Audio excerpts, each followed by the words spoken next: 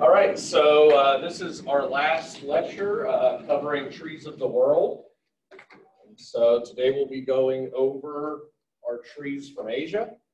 Um, and again, this is going to be continental scale, um, very large land area, and we're just really scratching the surface here. So we'll get again about 16 or so species. So Asia is the largest continent. It's extremely diverse. And much like Europe, it used to be joined with North America as part of one large continent. And so you're going to recognize almost all the families and almost all the genera that we'll cover today. And so as we start off here, uh, we'll talk about ginkgo, Ginkgoaceae, ginkgo biloba. Uh, if anyone is interested in ginkgo, there's at least a couple here on campus. Uh, we've got some by some dorms to the south side of campus. I don't know which dorm. Uh, but then we have another one uh, near the biology building, the Miller Science Building, I believe on the west side of it. And so you can go find these trees. Right now they might be starting to get their fall color, which will be nice and yellow. So they're very popular ornamentals. And they have uh, this leaf that has dichotomous venation.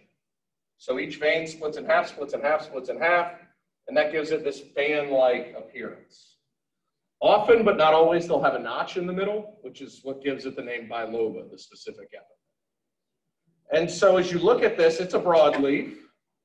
You know, this, this is what appears to be the fruit, but it's actually a gymnosperm. So ginkgo is a monotypic gymnosperm. It's the only one left, even in its order. The whole Ginkgoales has just this one species in it. Um, it's easy to ID once the leaves fall off because it has these really big clunky short shoots. So you'll note the kind of rough gray bark, and then all the short shoots on all the limbs will be very obvious and make identification easy. Ginkgo is a dioecious species. So if you get a male tree, it'll only have um, male strobili, so pollen cones. But the female trees uh, will have uh, the seed cones, and then they have these vegetative tissues that kind of, you know, do the same functioning as a fruit around it. When you buy them ornamentally, often you can pay more to get quote unquote certified fruitless trees, where basically they're just selling you only male trees. And you do that for a reason. Uh, they planted a bunch of ginkgo in the parking lots at Virginia Tech, right by the parking lot where they all the alumni tailgate, right by the football stadium. And shortly before I got there, they had gotten to reproductive maturity and they had gone cheap on their trees. So they had planted many that were male, many that were female. But all the female trees start dropping these things all over the parking lot right around tailgate season. And they're real squishy and kind of gross and they stink. They just smell terrible. And so the alumni complain, they go cut all these trees down and they plant something else. And so, you know, if you're going to plant these, often people will advocate pay a little more, get the certified fruitless trees, which is just the males, and then you won't have to worry about um, while they stink, uh, different cultures have taken the seeds, the large seeds in there, um, and cooked them and eaten the seeds, kind of like you would a pumpkin seed, same sort of idea. Ginkgo uh, has an interesting story. It's extinct in the wild, basically. You're never going to walk out into a natural forest anywhere in the world and see a ginkgo tree. Um, and we basically thought it was completely extinct. And then they found it uh, different Buddhist monasteries uh, out in Asia. Uh, the monks had been preserving it, and now it's planted all over the world as an ornamental tree. So it's never going to go extinct, but it is extinct in the wild. Um, you'll see ginkgo biloba used for all sorts of medicinal purposes, you know, supplements, allegedly to help with memory. So um, I suspect a good set of notes will do you a lot more good on the midterm on Tuesday than taking some ginkgo biloba. Okay, we're starting with the gymnosperm. So here's our next gymnosperm, Dawn Redwood. It's got quite the scientific name on it. Dawn Redwood is Cupressaceae, Metasequoia glyptostroboides. And so there are three real uh, sequoias in the world. So one of you will be giving a, a presentation on redwood and giant sequoia. So who's doing that? Okay, so Lauren will be giving you a presentation on those two. This is the third one. They're all in different genera, so they're related, but not too closely related. But Metasequoia is basically the Chinese sequoia, and it's not nearly as impressive as the two North American ones. It's not the tallest, it's not the largest. Um, it's a big tree, but not that big a tree. It had an interesting story in its discovery. And so basically in 1941, they located this fossil. Thought we had a brand new species, never before identified in the fossil record. So one scientist described that. Then in 1943, a botanist working in a remote portion of southwest China found these trees growing along a creek. New tree, never before described. So they thought they had a new tree. So they, they named it something else. They misidentified it at first, then named it uh, a couple years later when they correctly identified it as a new species. But then all this became this huge debate over what the heck this thing was actually called, who had actually discovered it first. And they ended up sending all this stuff to the Harvard herbarium and let them sort it out um, before they, you know, sort of figured out who actually discovered it first and what to call it. So, uh, but whoever discovered it first got to put the really long scientific name on it. This tree, while it is similar to the redwoods and the sequoias here in North America, if you see this tree planted in the southern US, and it is planted in the southern US, you're going to think it's a bald cypress. It looks almost exactly like bald cypress. So the foliage is deciduous in these feather-like branchlets. That's exactly like bald cypress, with one key distinction. The feather-like branchlets on bald cypress do not come out opposite one another. They come out alternate one another. So it has a different leaf arrangement than bald cypress. So that's one good ID feature. You can see the cones kind of look like the round cones that you'll notice on bald cypress, but with a key distinction, you can kind of see it on this one here um, and this one here. They're much more square in cross section. So they look like some sort of squarish barrel when they're closed. And so the cones are a little bit different. They're not a perfect sphere like a bald cypress cone will be. The other thing that you'll notice on Dawn Redwood, you can see over here, they have very fluted trunks, whereas bald cypress just tends to be, you know, nice and round more. And so typically each time there's a large limb coming out of the trunk, you'll note that there's kind of a furrow below that limb um, to give that trunk that overall fluted appearance. I've seen these planted in Virginia. I've seen these planted in South Carolina. I wouldn't be sur surprised if they could be planted and survive in parts of Okay, next up we have Sugi, which is Cupressaceae Cryptomeria japonica. There are varieties of this tree only found in Japan, um, but it's been brought to China. Some of the varieties have probably been in China for quite a while. It'll grow in pure stands or in mixed stands, and it's an excellent timber species in Japan. Uh, these trees can get absolutely huge, over 150 feet tall, over 13 feet in DBH, so they can get really big. The wood is rot resistant, light, so it's a really good wood. You can see on this map, it's been planted all over the world. You will see these sometimes in the United States, uh, but when you see it here in the US, it's really used only as an ornamental tree. So it's an urban ornamental. In China and in Japan, they are managing it for timber, as a timber Uh, when you look at it, it has different needles than anything we've seen so far. The closest thing we've seen to it is the immature foliage on eastern red cedar, but it has these four-sided awns or spiky-like needles that are only half an inch or so long. They're whorled around the, the green twigs there. You see a pollen cone on the right, a seed cone on the left here, and so the cones are going to be small. So really a totally different look than any of the gymnosperms we've covered so far. Here you see a couple photos. This is a planted tree in a botanical garden. There's a person laying under in the shade for sort of context on size. And here's a, a, really large tree. There's a person right here and right here seated at the base of it. So you can get a sense of just how big these sugi trees can get. Um, often when you see it planted ornamentally here in the United States, people just call it cryptomeria. They'll call it by the genus. Okay, we've got a, another tree from Southeast Asia, David Keteleeria, Pinaceae family, Keteleeria davidiana.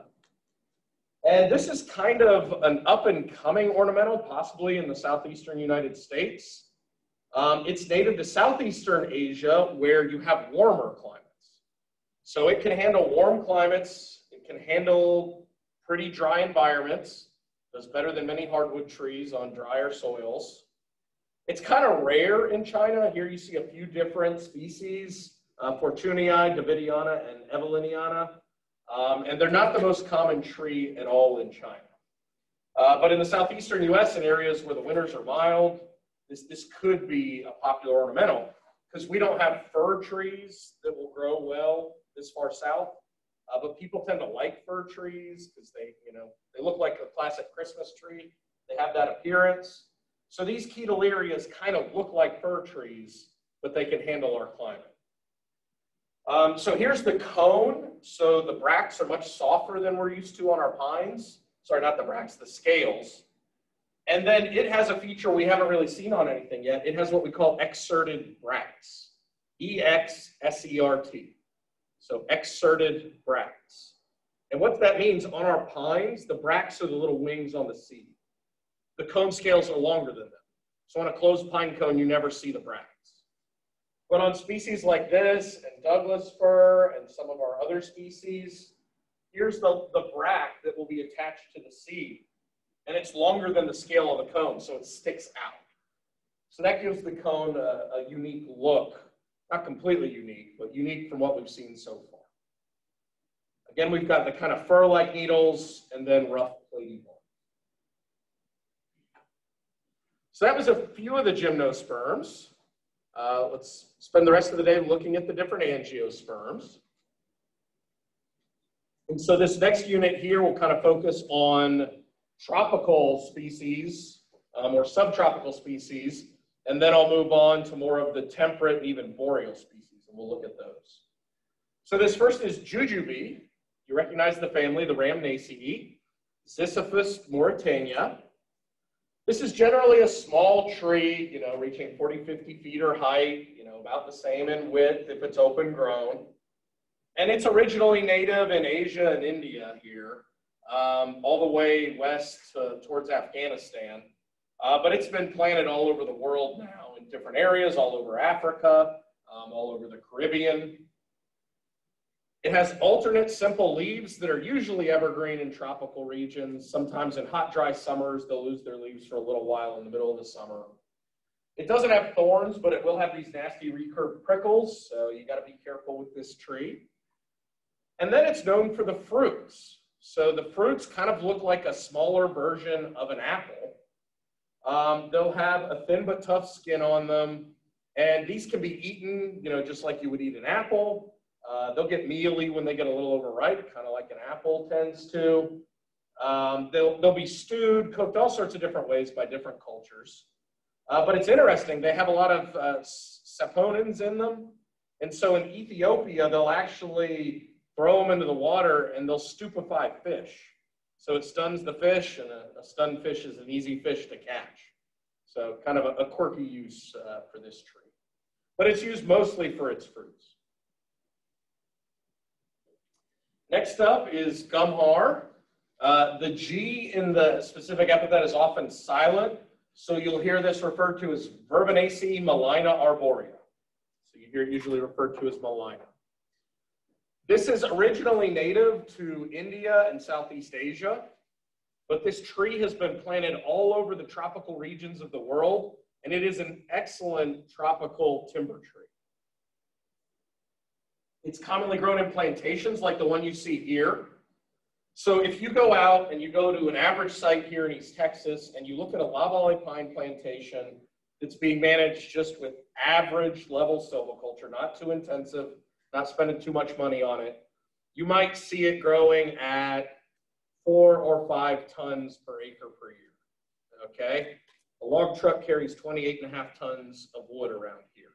So it's going to take you six, seven years to fill up a truckload of wood with a typical plantation here on an acre of land. They can grow this species closer to 10 tons per acre per year, 11 tons per acre per year on good sites in much of this region. So that means this thing would be filling one of our log trucks around here in two or three years. So it'll grow incredibly rapidly, which means they can put this thing on five to eight year rotations in Brazil and use it for pulp mill. So they'll take it, take it as pulp, they'll feed a pulp mill with it. um, and just another five to eight year rotation. Um, they've had this in some areas where they'll coppice it. You cut these trees down and the stumps will sprout and you'll get new trees and it grows real quick. And when they do that, they're usually managing it for firewood. Uh, so in many places in India, they still have wood burning stoves. And so they'll use them for firewood, coppicing them in that.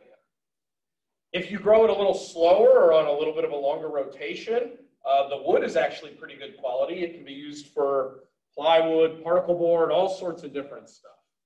And construction material, dimensional wood. And so they'll use the wood for all sorts of different products. The leaf on it is kind of spade shaped. It'll also have fruits uh, that kind of look like small apples there. So it has fruits as well. But here, here's kind of an example of the wood. And so depending on the, the soil, we'll see this for teak as well, but depending on the soil they'll grow it in, you know, that can change the coloration of the wood a little bit depending on what micronutrients are available at what levels. But here you have kind of a greenish board, here maybe a little more whitish. Uh, but here's, you know, some fancy artwork that they've put together using Malina wood. So very popular wood. And that leads us right into teak, which is also in the Verbenaceae. So um, under the most recent taxonomy, beautyberry has been moved over to the Lamiaceae, the mint family, but you know, there are some similarities here, at least we used to think, between teak, Malina, um, and our beautyberry here in the US. There's your range map for teak, where you can see it's originally native to India and Southeast Asia. And teak is one of the most popular tropical timber species in the world. And so here you have a teak plantation right here. These trees might get 25 feet tall in the first three years. So they'll grow very quickly, but where they want it for timber, you can't grow, grow a tree too quickly because if you do, it has very few rings per inch if it's growing in a temperate region. And that tends to indicate to us, hey, it's got a low density, the wood's not strong. Um, with tropical trees, you may not get rings per se because they're growing year round. Uh, but the same thing, if it puts on diameter too quickly, the wood is usually low density, not as good for dimensional products. And so uh, with teak, when we look at the morphology, the leaves are like a foot long. We'll see big leaf magnolia in lab later this semester. It's going to look kind of like a big leaf magnolia leaf. You have white clusters of showy flowers going to these white capsules in terms of the fruits. But the wood is the main thing. You can make all sorts of different products out of teak. And so you see the top right, they've used it as decking on an expensive looking boat. So they'll use it for watercraft, high-end watercraft, high-end outdoor furniture, other outdoor living spaces. The wood's pretty rot resistant. And so it'll, it'll resist decay for a long time. Uh, with teak and Malina, they've got evidence on both these species that contact with the soil, it might last 15 years. So extremely rot resistant. You see some of the logs they're harvesting down here and variation in color on the wood. Um, back when Culhavy uh, first started here in the late 70s, you know, we didn't have the internet or anything like that. So our college was putting out all these little books and they would be, here's silviculture for loblolly pine, silviculture for shortleaf pine, silviculture for bottomland hardwoods. Here's a directory of all the different mills in our area. So we had this little publication series, um, and our 24th of them, for whatever reason, was silviculture and management of teak. And so it looks like we had a visiting professor here, um, Dr. Kadamambi, um, and he put together basically, you know, everything you need to know to manage teak um, in the 70s in India and published it here through SFA. So um, kind of interesting there. Okay, so this is a new one I've added for this semester. This is Gutta percha, and it's Sapotaceae family. We're learning chittamwood this week, so same family as chittamwood, and it's Palaquium gutta. Palaquium gutta. Um, so you can see the leaves on it are nice and obovate. We're going to learn pawpaw later this semester. It has similar shaped leaves to pawpaw. And it's a tree that'll grow rapidly. It'll self-prune up real well. And so it'll, it'll be a, a decent tree. Um, and you'll find it in India, Southeast Asia. You can see the range map over here and some of the other areas where it's been spread. Now it's called gutta percha That's referring to the latex this tree exudes. So if an insect bores into it, it starts exuding this grayish latex as a defense mechanism. The insect gets gummed up in this sticky latex. Then the latex dries out and hardens. And so it's the defense mechanism for the tree.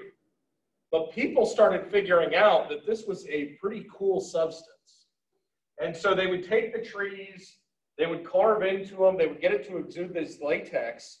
And local people in Southeast Asia were using this to make machete handles. It was basically a plastic. You could heat this stuff up to about 150 degrees Fahrenheit, 160 degrees Fahrenheit, shape it however you wanted, cool it back down, and it was basically like a plastic product before plastics were even invented. And so once they figured this out, that the British, you know, show up, of course, and uh, in the 1840s, a British doctor sends a sample back to England, and they go crazy over this stuff because there's no other natural material that'll do this, and we don't have those synthetic materials yet. And so golf balls in the early 1800s they were a bunch of feathers stuck together with leather wrapped around them. And as you would imagine, they didn't go very far. Well, they started making them out of gutta percha and they worked way better. They were way cheaper. And so for 50 years, this is how golf balls were made until they found stuff from another tree, rubber, and they started using bound uh, strings of rubber on the inside of golf balls. You could mold silverware with it, chess pieces, all sorts of different things. And so they started going cutting down all these trees, they would just cut down the whole tree and they would get a few pounds of this latex out of each tree. And then they started putting in plantations of these gutta percha trees because they were running out of them. And this became a massive industry in Southeast Asia. In the mid 1800s, they figured out that this could be used to coat copper wire. And so they had started doing telegraph lines and they wanted to run them. The, the British had this vast empire, and so they wanted to run them across oceans. But obviously, electricity plus seawater that doesn't go well together. And so, what became today's Siemens company, Siemens Electronics, they got their start when they figured out how to coat copper wire with resin from this tree, gutta percha, seamlessly. And the British then, from 1860 to 1911, built what they called the Red Line. And it was a quarter of a million miles of telegraph line running underneath the oceans across their entire empire. And they were really forward thinking in how they built this. Um, if you looked at the connection in England, it had like 43 different connections to all these areas. Even some of the more, more remote areas like Australia and New Zealand would have four or five different connections. So they got all this done about 1911. Huge industry, huge effort. And then World War I breaks out, where England and the Germans are fighting. And Germany didn't have nearly as sophisticated a system of telegraph lines. So the British were able to, you know, destroy and break through their telegraph lines in different places, disrupt their communications, and gain an advantage in their war effort. The Germans were never able to fully disrupt the British telegraph system because it had so many redundancies. And so that was one reason that they were able to prevail in World War One. And so a lot of it was because of this one tree they found in Southeast Asia and the weird latex that it exuded. So this is still used today. So uh, back in, I guess, April at the middle of that COVID semester, I got the first cavity I've ever had went all the way to a root canal. And apparently they still use this stuff today in modern root canals, where they, they dig out the, the roots of your tooth here, um, and then it's just the perfect substance. They'll stick gutta percha down in there. They'll heat it up so it's moldable.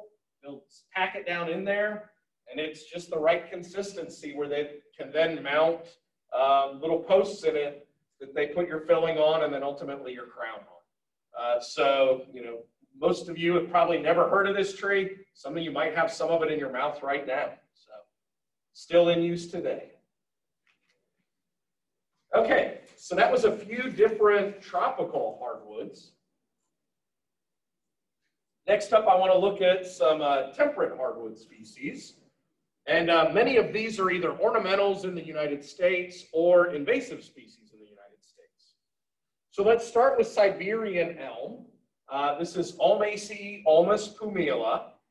Uh, and when you look at Siberian elm, it looks like our other elms, except tiny little leaves, tiny twigs. So compared to the elms we've learned, it's got little bitty leaves. We're going to learn cedar elm, which is native to East Texas, and we're going to learn Chinese elm, which is an ornamental here later this semester in lab. And this has leaves smaller even than Chinese elm. Chinese elm has tiny little leaves. Chinese elm is ulmus parvifolia, which means small leaves. Um, so very small leaves. Here are the samaras on it, and those are, you know, exaggerated in size. They'll be half the size of a dime. So very small little samaras. This tree has been planted all over the U.S. as an ornamental. Uh, it's too hot here in Texas, so we won't see it here. Uh, but no one really knows why we've been planting this thing as an ornamental. Because it gets these ugly giant burls all over it. Um, you know, it, it just has this terrible form. These were growing in Blacksburg, Virginia when I lived there, and you could spot them leaf off from a block away because it's literally just like the grayest, bleakest tree you've ever seen. And so it's got that real gray form. It always has the burls all over it.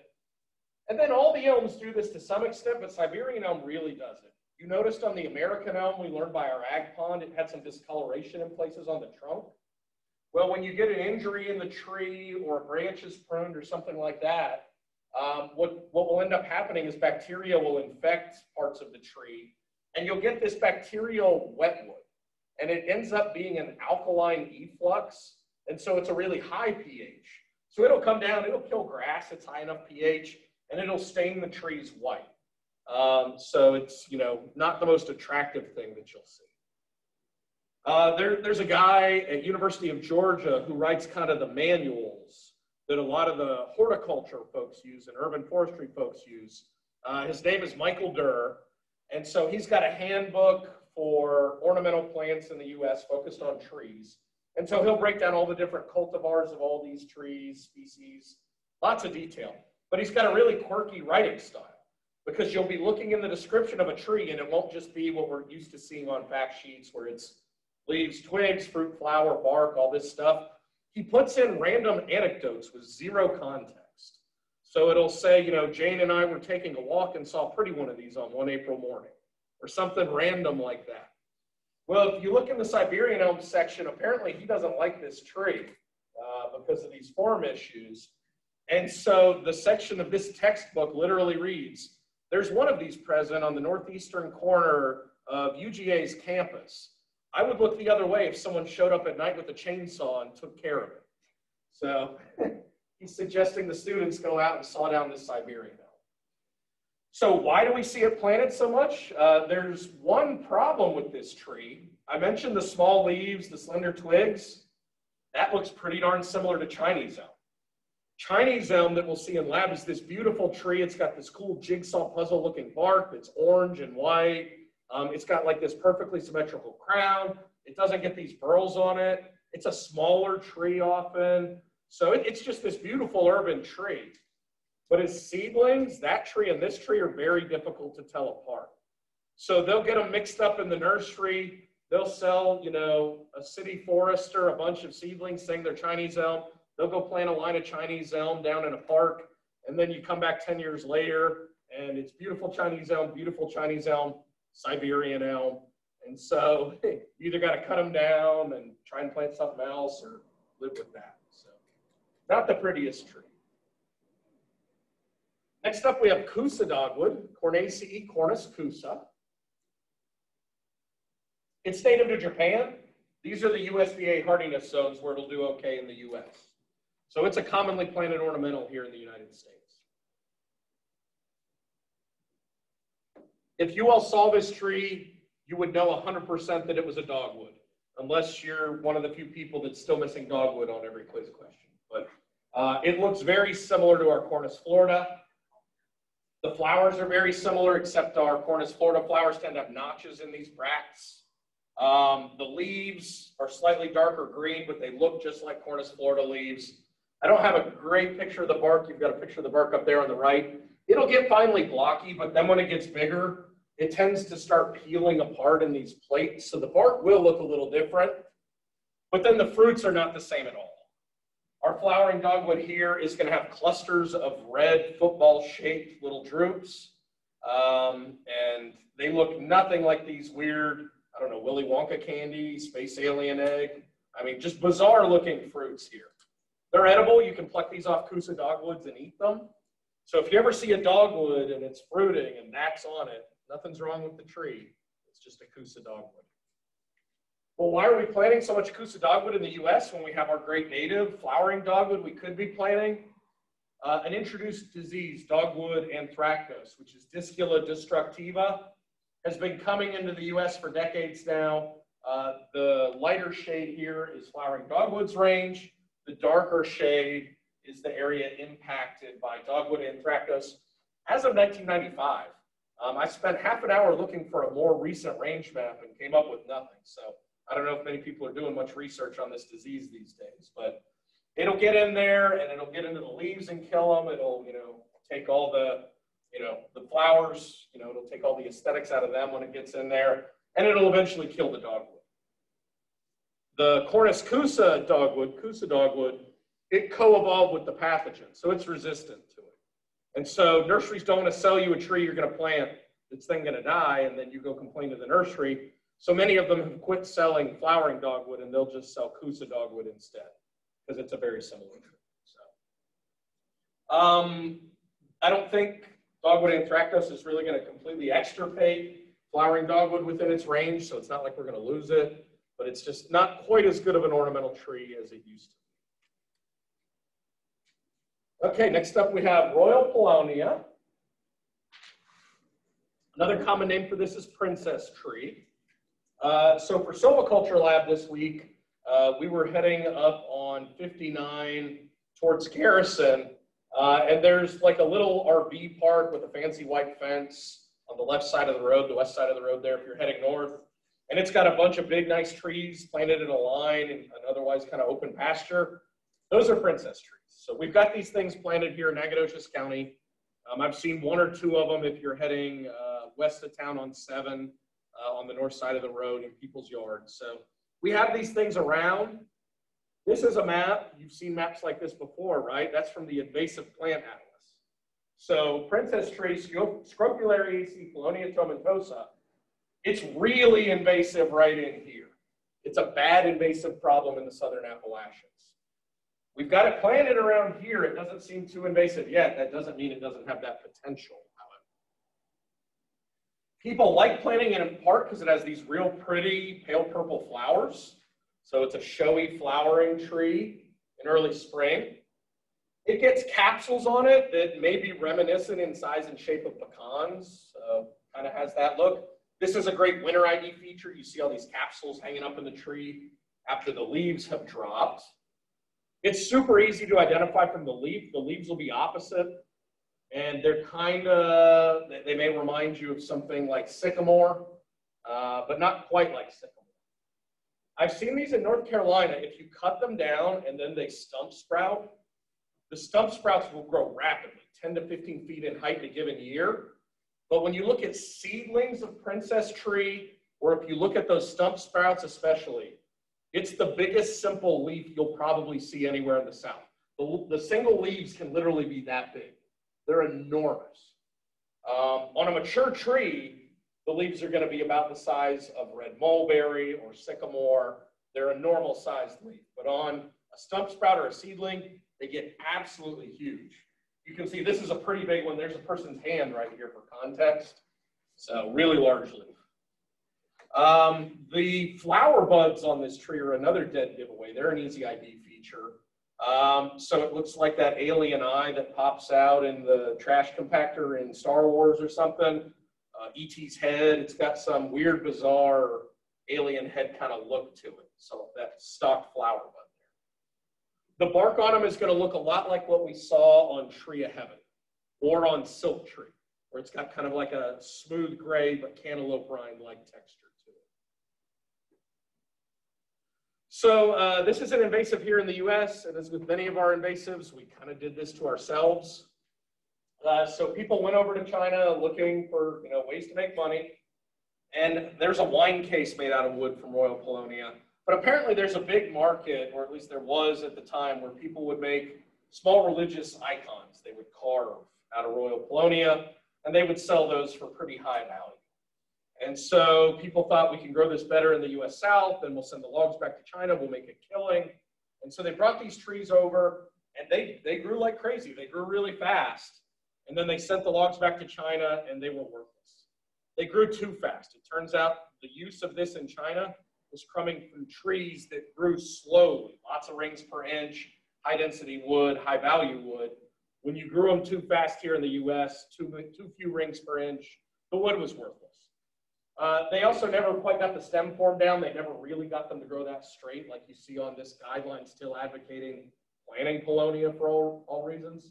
But they, they never got the stem form down, and uh, oops, it's invasive. So you'll occasionally see a bunch of them planted, mostly as an ornamental today, but not recommended for planting. Okay, here's Russian olive. You're probably lucky you don't have to put this scientific name on a quiz out in the field, right? That's a lot of A's and E's in a weird combination. So this is Elaeagnaceae, Elaeagnus angustifolia. This is our only example of one of these olives this semester. And I picked an example you find in the western US, uh, but we often find autumn olive in the eastern US. They planted it on a lot of reclaimed mine lands in the Appalachian region, and oops, it's super invasive. If you find something in the Elaeagnaceae family and in the Elaeagnus genus, one of these olives, it doesn't look like any of the olives you get on a salad bar at all. It's not like a black olive or a green olive with a pit. It looks like a tiny pear as the fruit. So it'll look like what we'll see on Callery pear in terms of a fruit. So it looks about the size of a cherry, but the texture is more pear-like. Uh, so the seed is dispersed by birds on all of them. So they get dispersed far and wide. And then how you identify it. Every time I've seen one of these things, you take a leaf, you flip it over to the back, and it looks like someone got out a can of silver shiny spray paint and spray painted the back of the leaf a shiny silver. So the backs of the leaves are literally shiny and silver. We've seen nothing like it. The closest we've seen is maybe Sweet Bay, but that was white. This is silver. And so if you're ever, you know, in an area where you would find invasive species, roadside, parking lot, some disturbed area, and you see a, a silver leaf, it's probably a, an invasive olive. Now, Russian olive can really take over the western US as a bad invasive shrub.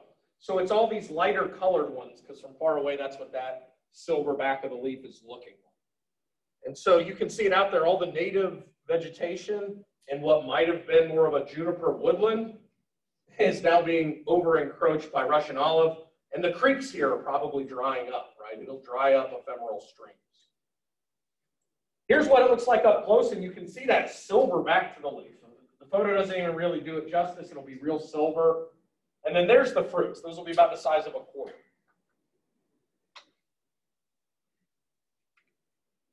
Here's a big one growing by a reservoir. So you can see they'll get 20, 30 feet tall, uh, pretty good sized if they have enough water.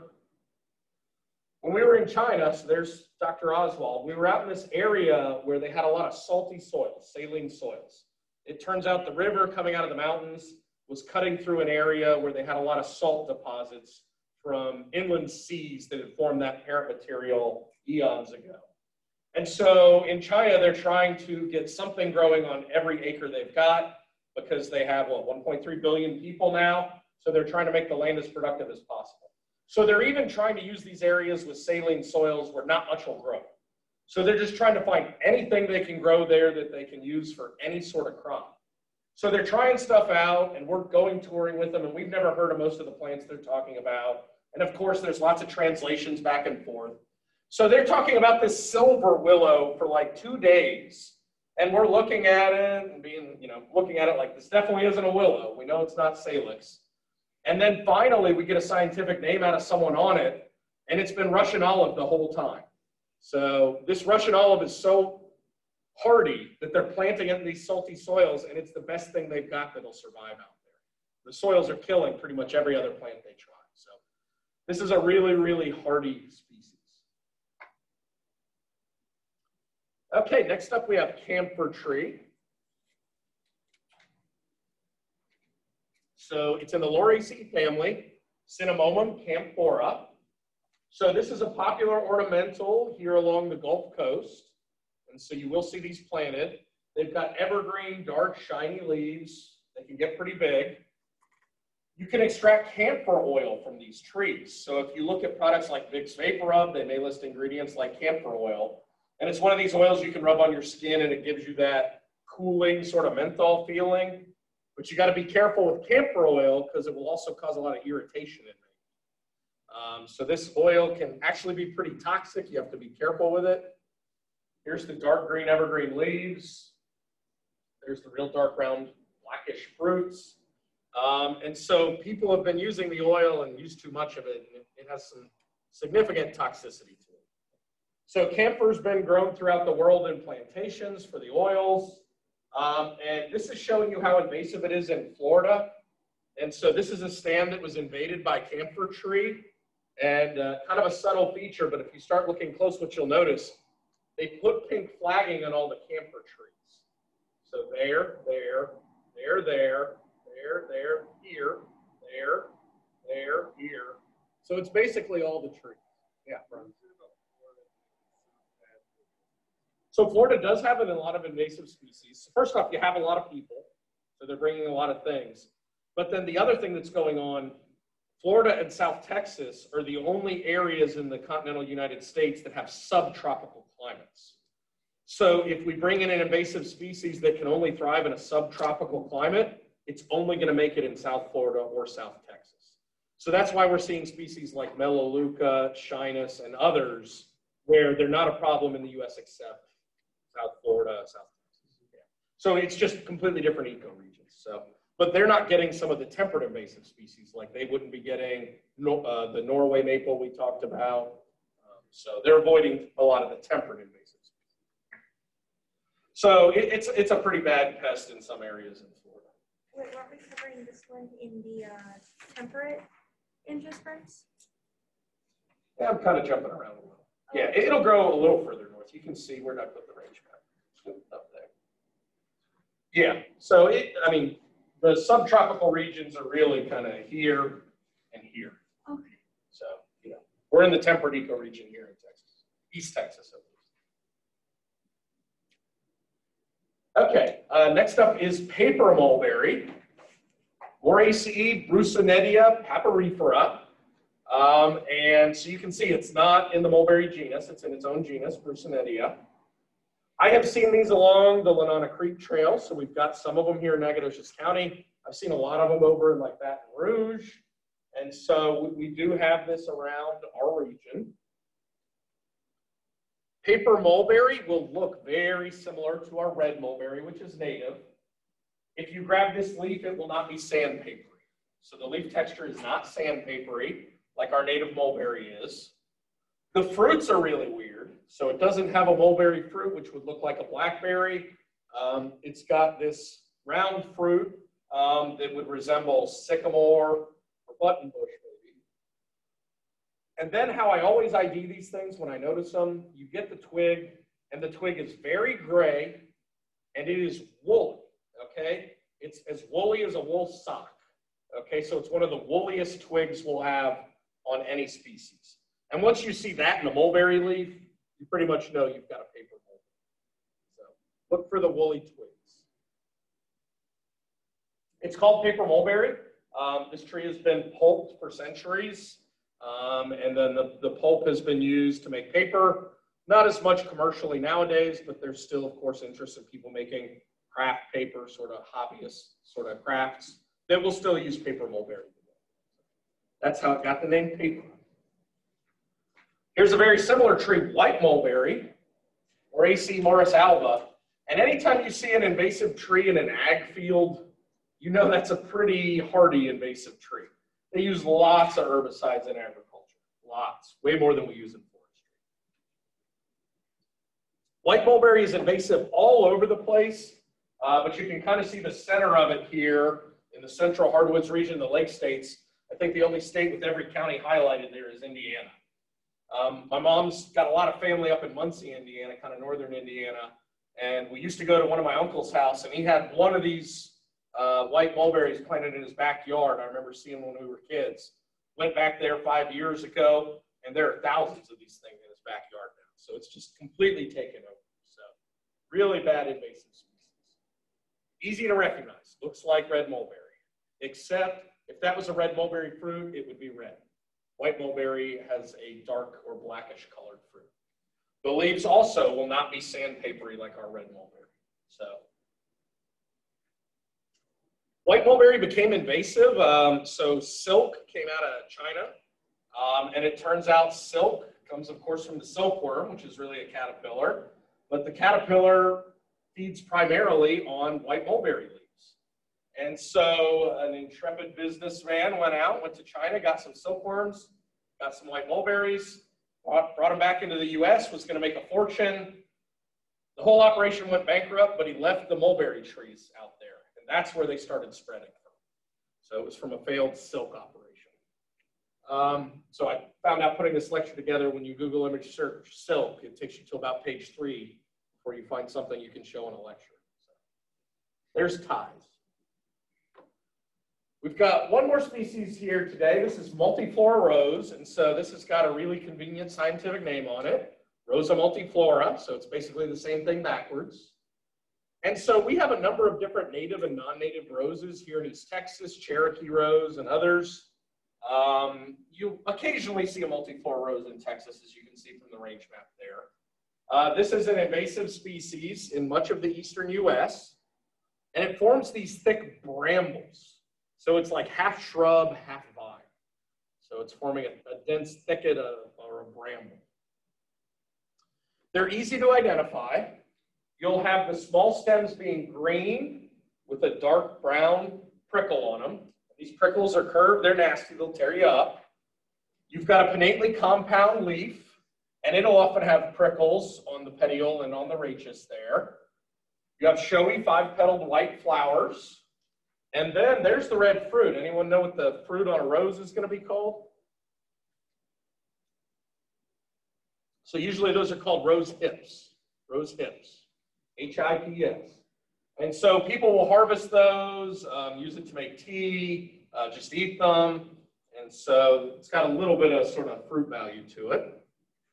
But really, it's just an invasive pest. It forms those thickets. And so whether it's recreation, um, or if you're dealing with livestock, or if you're dealing with wildlife, it forms these large barriers, just areas where it's really difficult to get through. And it's difficult to control because it has a whole bunch of stems. It's not something you can hack and squirt or anything like that. You're probably going to have to use a foliar herbicide and spray the whole thing uh, if you want to get any sort of control. So there's one example of a rose. So that's it for trees of Asia.